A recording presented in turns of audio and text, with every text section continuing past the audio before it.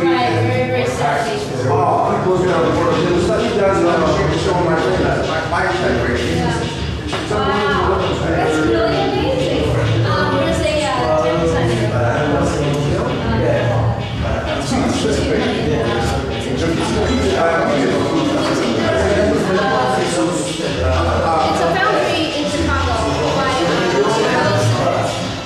Paulo Segura is the name of the designer, but he also did the graphic design.